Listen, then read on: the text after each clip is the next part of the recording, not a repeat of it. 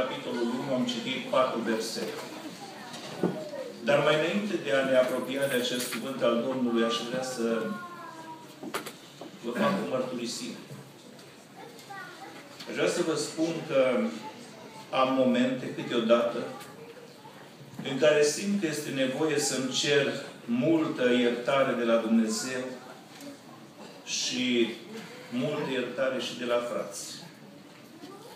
Ca să mă înțelegeți, am să folosesc o ilustrație. Imaginați-vă că ați fi proprietarul unei livezi de pom fructiferi, de mere de bună oară.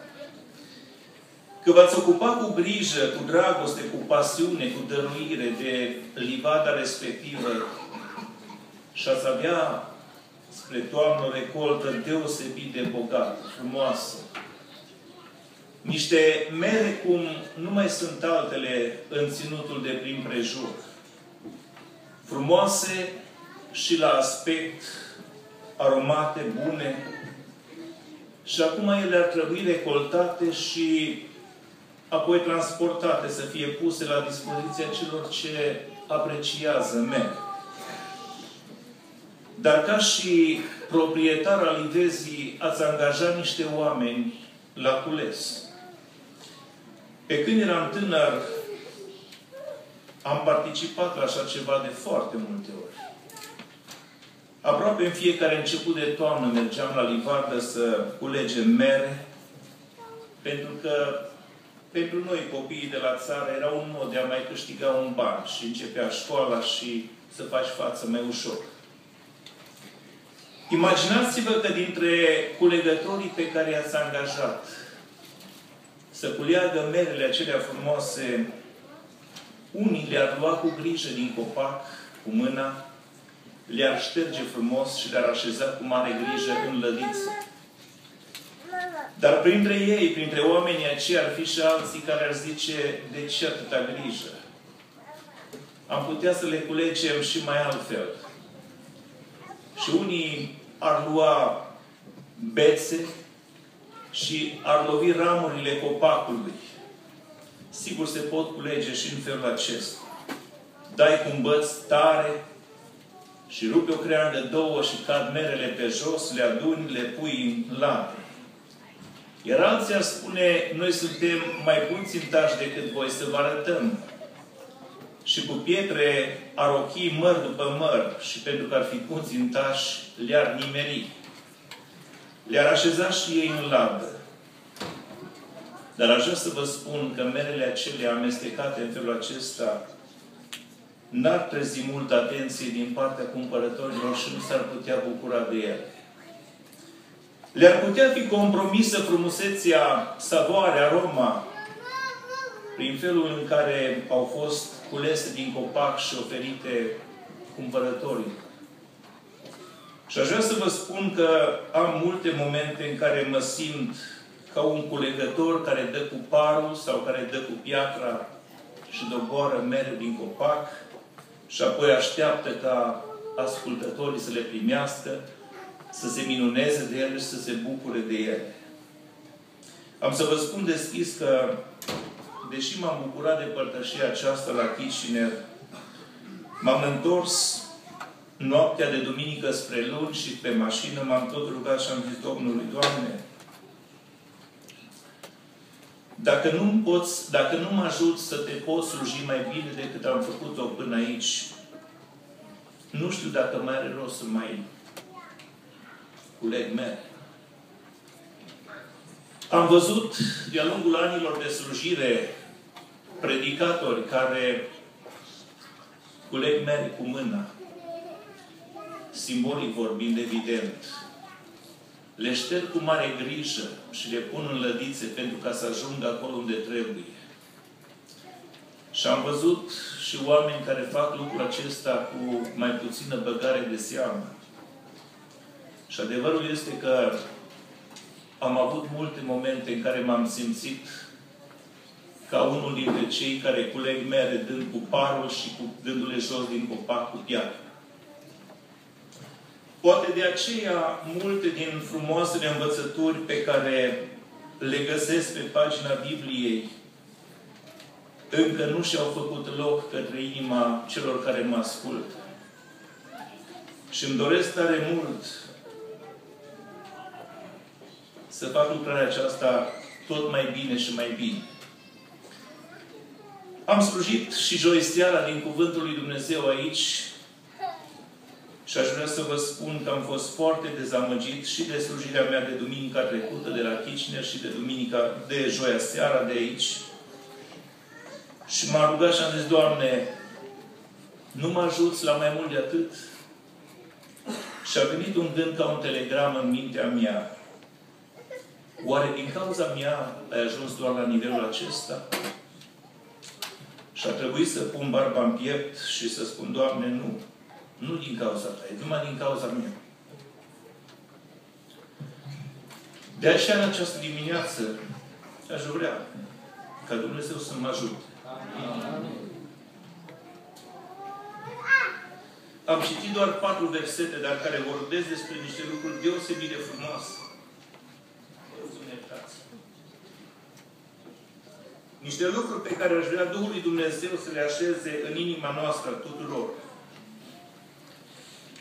Am sărbătorit în această perioadă revărsarea Duhului Sfânt.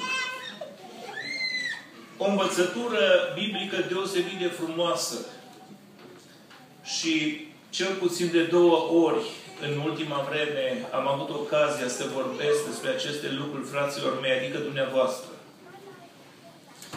Dar de fiecare dată parcă am fost marcat de un sentiment de amărăciune, pentru că mi-a fost dat să aud lucruri, interpretări ale acestor învățături care m-au deranjat, m-au necăjit. Și vrând parcă să pun la punct pe niște ascultători care nu sunt printre noi, am vorbit de multe ori despre lucrurile acestea într-un mod în care nu s-ar fi cuvenit. Dacă vă veți uita pe programarea Bisericii pe luna iunie, programare pe care am pus-o la dispoziția fraților în dimineața aceasta, ați putea să remarcați faptul că am pus un accent deosebit pe pasaje din Noul Testament care vorbesc despre lucrarea Duhului Sfânt. Spunea un frate nu de mult că ceea ce ne deosebește, ce ne particularizează pe noi printre cultele creștine, este accentul pe care îl punem pe această lucrare a Duhului Sfânt. Mi-aș dori tare mult ca Biserica Domnului de aici, frații, surorile care fac parte din ea, să îndrăgească această lucrare, să o prețuiască, să o caute, să o experimenteze în viața lor. Pentru că lucrarea aceasta este un izvor de binecuvântări pentru noi. Aș vrea în dimineața aceasta să spun câteva lucruri care poate nu se regăsesc în pasajul citit. Apoi să mă apropii de pasajul acesta și slujirea mea prin ajutorul lui Dumnezeu să ne fie de folos. Există multe întrebări care frământă inima creștinilor, mintea lor. Și cei care vorbesc din cuvânt și le dau sfaturi și învățături creștinilor, de multe ori nuanțează aceste învățături ca să se încadreze fie într-o doctrină, fie într-alta. Am vorbit despre această manifestare a coborârii Duhului Sfânt peste un credincios. Și am spus că ea este însoțită sau dovedită printr-o vorbire în alte limbi, dată de Duhul lui Dumnezeu. Nu voi mai intra în această direcție mult, dar vreau să înțelegeți o concluzie din Biblie. În unele împrejurări, mai rare, bineînțeles, Duhul Sfânt a dat oamenilor peste care s-a pogorât o vorbire într-o limbă pământeană, pe care oamenii aceia n-au învățat-o niciodată. Dar Duhul Sfânt i-a făcut în stare să vorbească frumos. De cele mai multe ori însă Duhul Sfânt, când se pogoară peste cineva și îl umple, îi dă o vorbire într-o limbă nepământeană.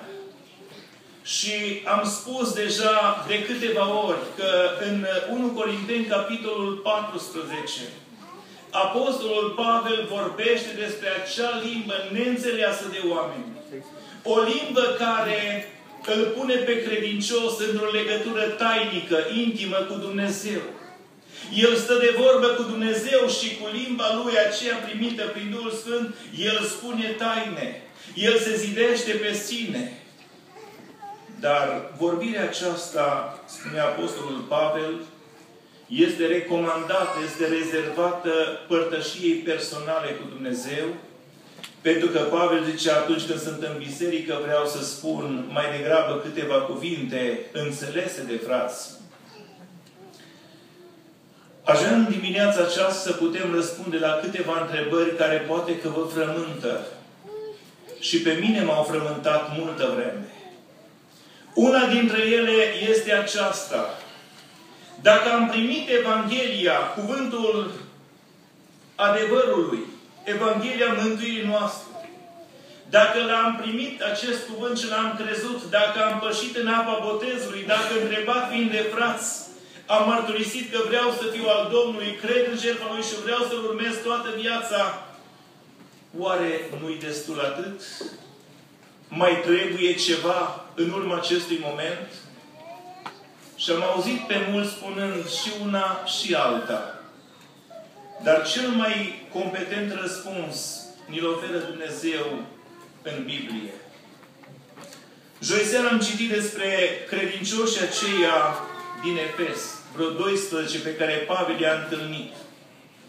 Apostolul Pavel i-a vorbit despre Hristos. I-a botezat în numele Domnului Hristos. Și după ce i-a botezat și a pus mâinile peste ei, s-a rugat pentru ei. Și oamenii aceștia au primit Duhul Sfânt. S-a pogorât Duhul Sfânt peste ei și au început să vorbească în alte limbi și să prorocească, spune Scriptura. Dacă vreți, un alt exemplu și poate mai concludent decât acesta este exemplul petrecut în uh, Samaria.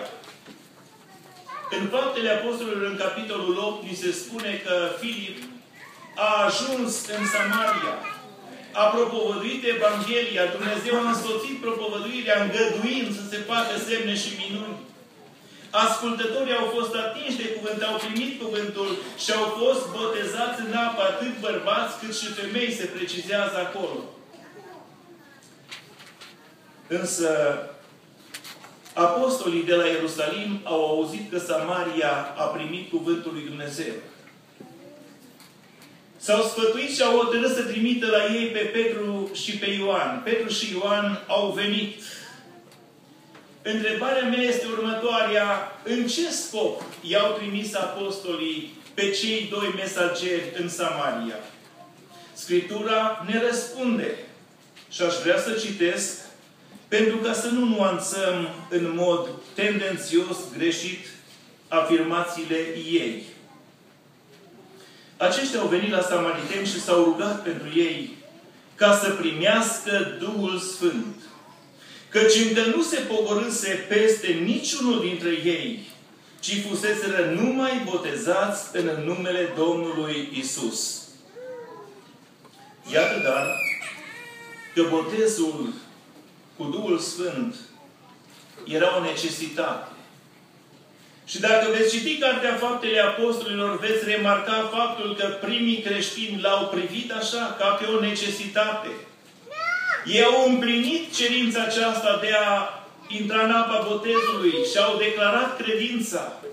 Au fost botezați. Dar legat de lucrul acesta, ei au înțeles că trebuie să primească și botezul cu Duhul Sfânt. Unii spun, fraților, când noi ascultăm Evanghelia și o primim, fiind în lume, Lucrarea aceasta de a primi Evanghelia este mediată de Duhul Sfânt. Și eu am crezut în tinerețe multă vreme lucrul acesta, pentru că am auzit pe mulți predicatori spunând așa. Duhul Sfânt ne convinge pe noi de starea noastră de păcat de nevoia noastră de a ne împăca cu Dumnezeu, de a accepta Evanghelia, soluția pregătită de Dumnezeu și pusă la îndemâna noastră. E adevărat. Numai că atunci când lucrează în felul acesta asupra unui om care este în lume, Duhul Sfânt lucrează din exterior. Din exterior.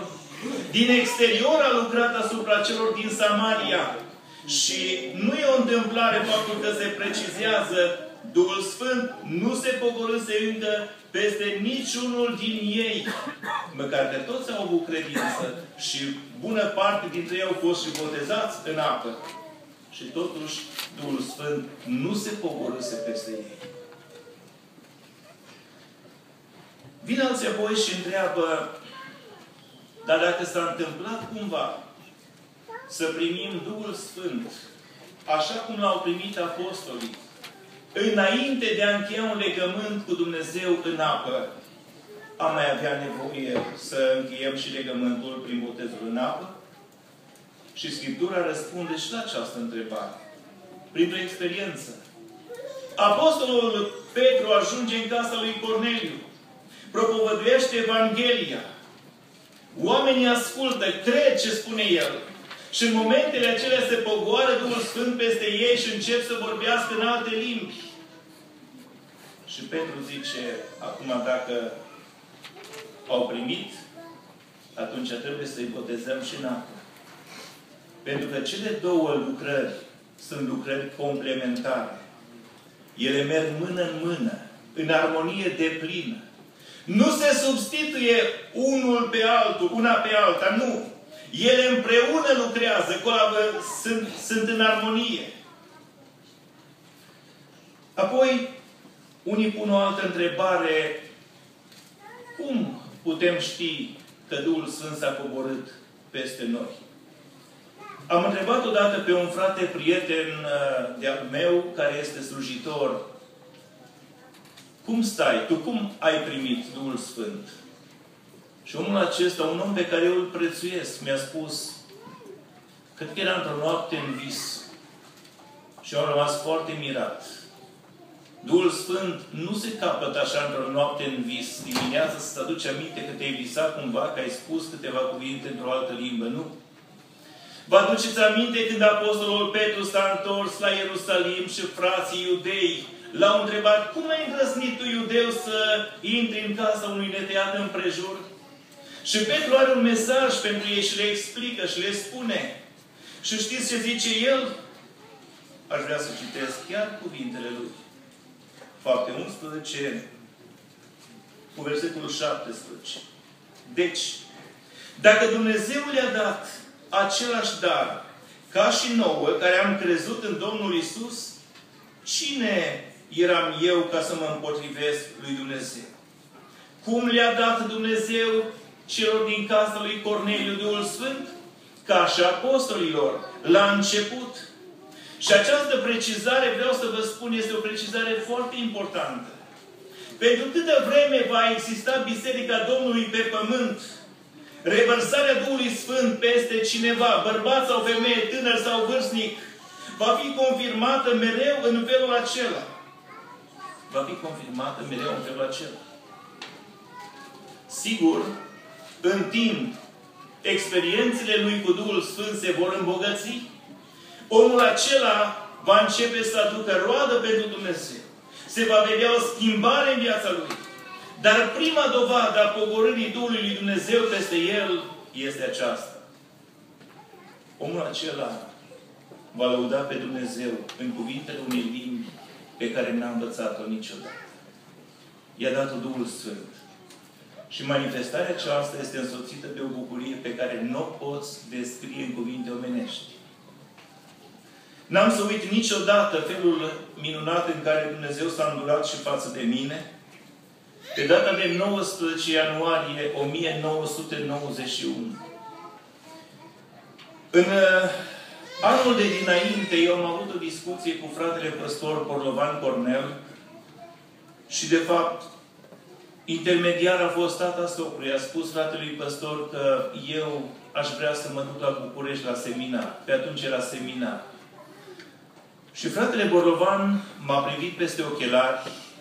Cei care îl cunoașteți, îl știți ca pe un om foarte categoric. M-a privit peste ochelari și m-a întrebat, tu vrei să mergi la București la școală? Și am zis, da. Și mi-a spus dintr-o dată, pe direct, tu nu ești de școală. Tu nu poți să mergi la școală. Și am întrebat, dar care este problema? Și el mi-a spus, printre altele, problema ta este că încă nu ai botezul cu Duhul Sfânt. Și nu-l aveam. Și nu-l aveam. Dacă el mi-a spus că nu sunt pentru a merge la școală, mi-a ieșit din gând lucrul acesta, dar în iarna următoare am participat la o stăruință și mi-aduc aminte de seara aceea de sâmbătă, când m-am dus acolo, eram atât de ostenit, tăiasem în ziua aceea un camion de lemne cu circularul, l-am dus acasă, l-am încărcat, l-am descărcat, l-am aranjat frumos acasă, tot camionul acela de lemne. Și seara soția mea mi-a zis, Iosif, tu știi că este stăruință. N-ai vrea să mergi și tu, poate că Dumnezeu se îndură și de tine. Și a fost cel mai bun sfat pe care l-am primit în săptămâna aceea. M-am spălat în grabă, m-am pieptănat, atunci aveam ce să piaptăn. Și m-am dus. În seara aceea a început rugăciunea pe la ora șapte. La șapte și un sfert. Mi-aduc aminte că m-am simțit copleșit de o căldură cerească de o lumină care m-a învăluit și nu mi-a mai păstat de nimeni din câți erau în jurul meu. Mă rugam și simțeam pe Dumnezeu atât de aproape cum nu l-am mai simțit niciodată până atunci. De atunci încoace l-am simțit de multe ori aproape. Dar până atunci nu mai simțisem niciodată pe Dumnezeu în felul acela. Când am deschis ochii și m-am oprit din rugăciune, era vreo 10 și jumătate. A trecut ceva vreme. Pentru că atunci când Duhul Sfânt se poboară peste tine, nu te mai interesează ceasul. Nu te mai interesează ce se întâmplă în jur. Ai prins o legătură de care nu vrei să te mai lași. Și când, mă rog, ești nevoit să te oprești, cumva îți pare rău că s-a încheiat și abia aștept să vină seara următoare și să mergi iar și să guști iar din bucuria aceea. Și bucuria aceea, dragii mei, este pentru noi, slăvit să fie Domnul. Amin. Apostolul Pavel vorbește în pasajul pe care noi l-am citit despre trei lucruri importante. Au legătură cu revărsarea Duhului Sfânt peste noi. Unul din cele trei cuvinte este cuvântul răscumpărare. Al doilea cuvânt este pecete și al treilea este arvună. Și despre fiecare vreau să împărtășesc cu dumneavoastră câteva cuvinte, nu multe. Cuvântul răscumpărare pentru noi sună mai puțin familiar decât a sunat el pentru ascultătorii sau cititorii din vremea lui Pavel. Noi suntem obișnuiți în vremea de astăzi cu credit card, debit card, cecuri, linie de credit și alte lucruri de felul acesta. Răscumpărare este un cuvânt care nu intră în vocabularul nostru obișnuit. Dar cititorii din vremea lui Pavel erau familiarizați cu el. Dacă vreți, în Biblie cuvântul răscumpărare este foarte des folosit, atât în Vechiul Testament cât și în Noul Testament. De bună oară, în setul de legi pe care Dumnezeu l-a dat lui Moise. Dumnezeu a prevăzut și situația în care evreul ajungea să fie mai lipsit. Să nu facă față cheltuielilor vieții obișnuite și să fie nevoit să-și vândă pământul moștenirea.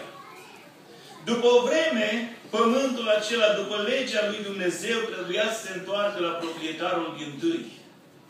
Răscumpărarea se putea face și în perioada de dinainte de data prevăzută după lege.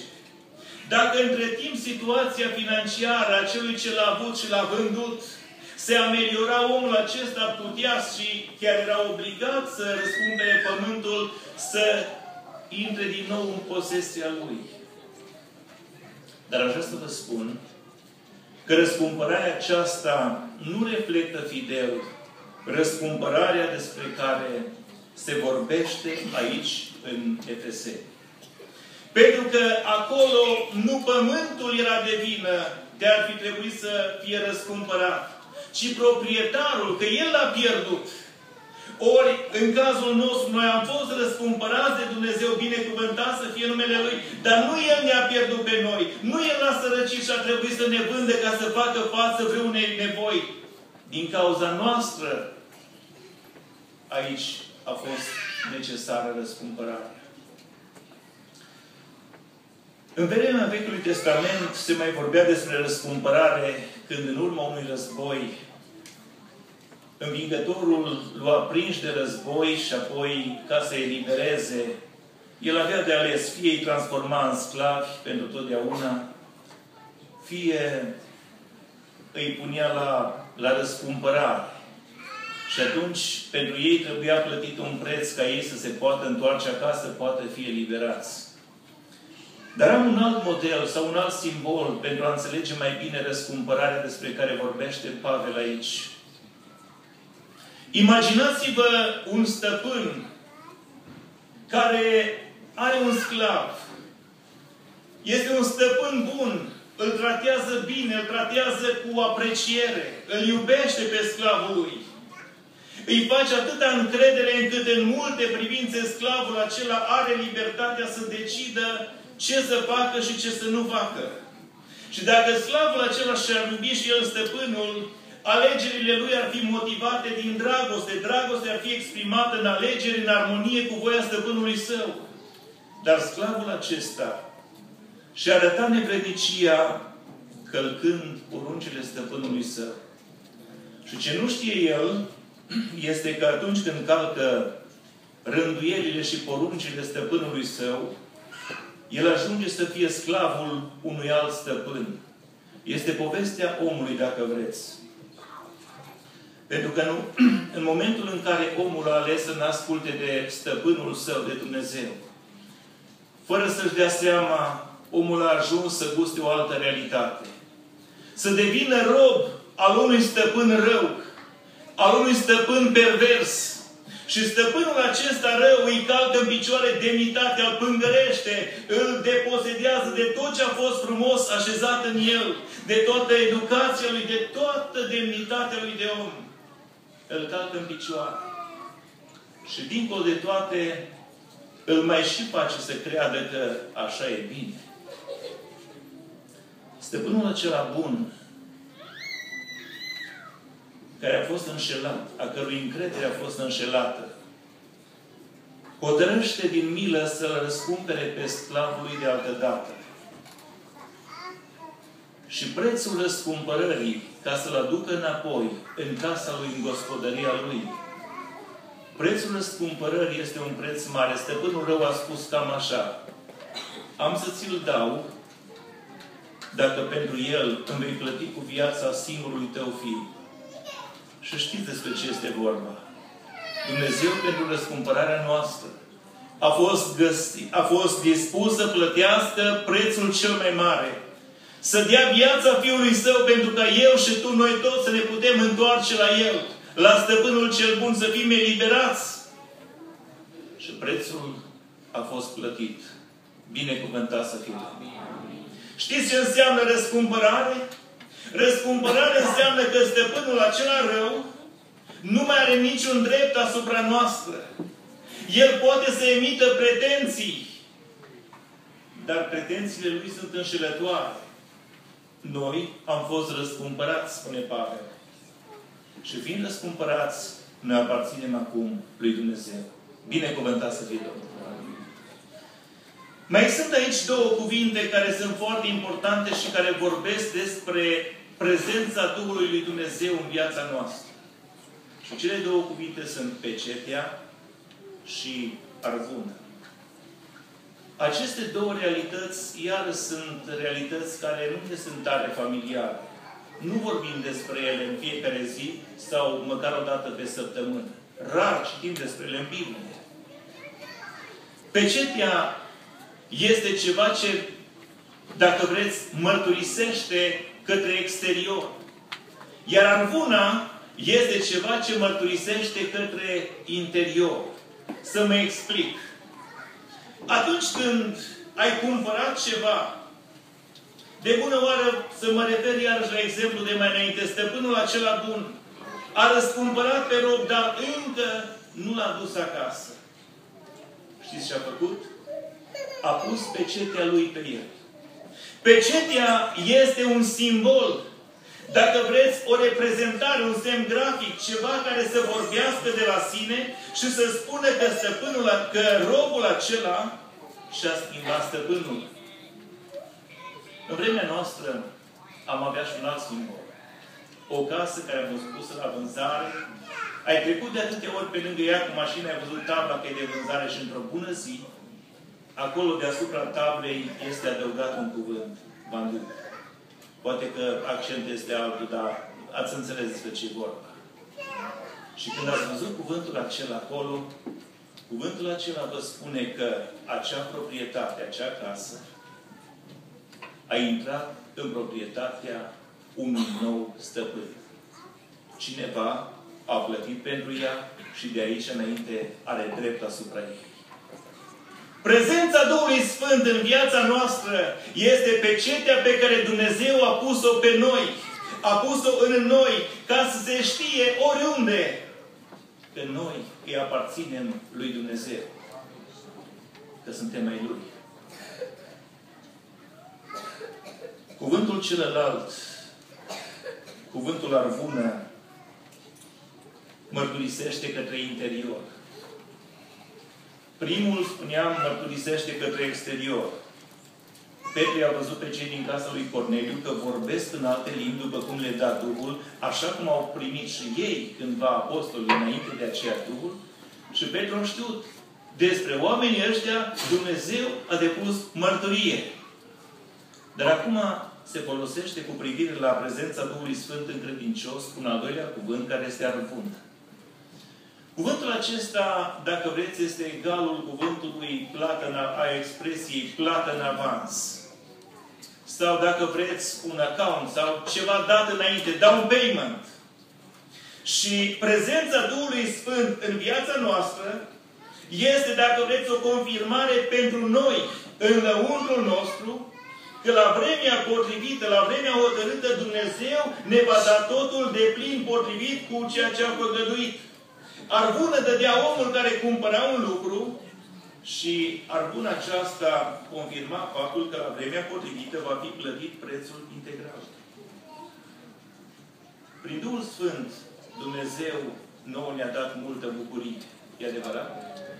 Bucurii ca acelea date prin Duhul Sfânt nu le poți găsi nicio altă parte în lumea aceasta. Dar bucuria aceasta dată prin Duhul Sfânt care ne inundă nouă inimile când prindem legătura cu Dumnezeu în rugăciune. Este doar un avans, o plată în avans.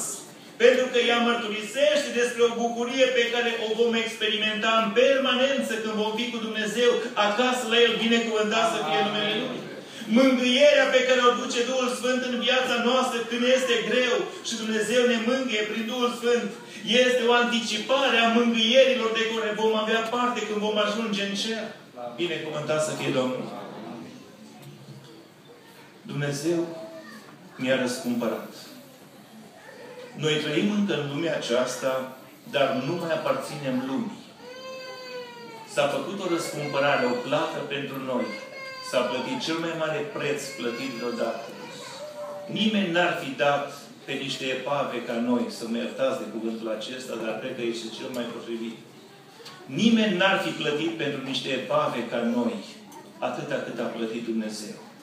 Degeaba ne aranjăm și ne îmbrăcăm și ne facem în fel și chip și facem exerciții să arătăm bine și ne învârtim în jurul oglinzii ceasuri întregi pe zi. Tot aia era. Nimeni n-ar fi dat pentru noi atâta cât a dat Dumnezeu. Dar a dat ca să ne răscumpere. Binecuvântat să fie. O mărturie pentru lume, pentru îngeri, pentru cei din jurul nostru, dacă vreți, că îi aparțin lui Dumnezeu, este pecetea pe care Dumnezeu a pus-o în noi. Și o mărturie și o confirmare pentru noi, care ne face să ducem tot greul pe care îl avem de dus în lumea aceasta, este prezența Duhului că e ca o arvună și Dumnezeu zice, ți-am dat înainte această arvună, ca să știi că la vremea hotărâtă în planul meu te voi duce acasă și voi face din tine un moștenitor. ai fost cândva un sclav, te-am răscumpărat, te-am pecetuit, dar vreau să te fac un moștenitor. Și ca dovadă că vreau să te fac un moștenitor, pun în tine Duhul meu cel Sfânt. Poate că ar trebui să ne revizuim atitudinea și convingerile față de prezența Duhului Sfânt în viața noastră.